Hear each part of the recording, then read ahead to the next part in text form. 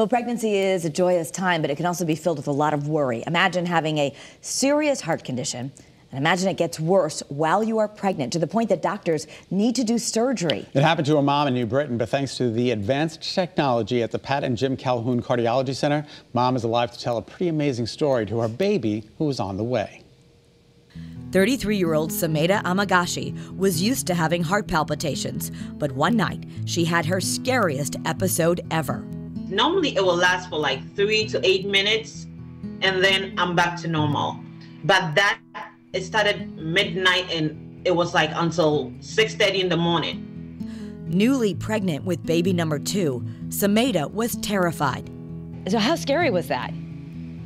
that that was very scary because um as he said the the vivid description actually is like you can see my heart pounded so you can see like the chest cavity you can see the movement so it feels like my heart actually is like trying to get out of my body Dr. Christopher Pickett, the co director of the Heart Rhythm Program at the Pat and Jim Calhoun Cardiology Center, knew pregnancy was making Sumeda's heart condition worse.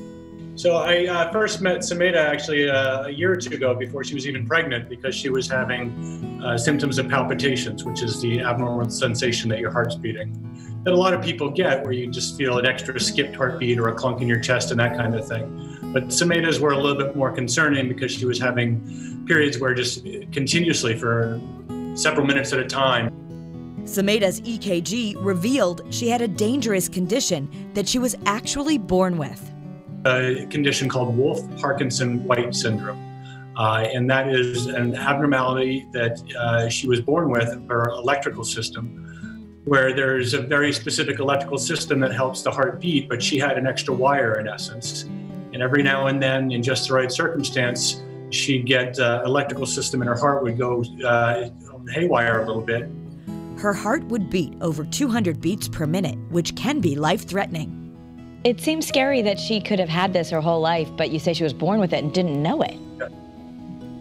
Yeah, you're born with it, but often symptoms don't manifest until the, the late teens and early 20s. That's the common scenario. Pregnancy increases a woman's blood volume by 40%. That, coupled with changing hormones, meant Sumeda's life and her baby's were both at risk. Dr. Pickett recommended surgery right away. But using an X-ray camera in a woman who's pregnant uh, with a fetus is very challenging because you have potential to do harm to the fetus. But in the last few years, there's been a lot of advances in the technology where we can actually do these procedures now without any radiation at all, using two different systems. One is uh, an intravascular ultrasound. So we actually have a teeny tiny ultrasound that actually goes in the vein in the leg and up into the heart, so we can see where we're going using that ultrasound and then a very complicated system called an electroanatomic mapping system, which is really, in essence, it's just it's sort of like a GPS inside the heart. All the technology boiled down to a miracle.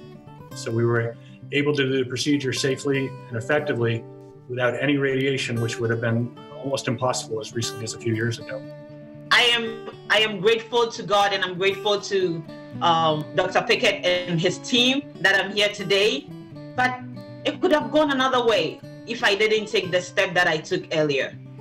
Yeah. So I would say, please, when it's your heart, I mean, any part of your body, you should be scared. But when it's your heart, you should be more scared. Yeah. So you should get help as soon as possible. And and finally, how are you feeling now that you got it all fixed? Great. now, Sumeda wants other people suffering from heart palpitations to get help right away. It's such a common thing, especially in women, actually.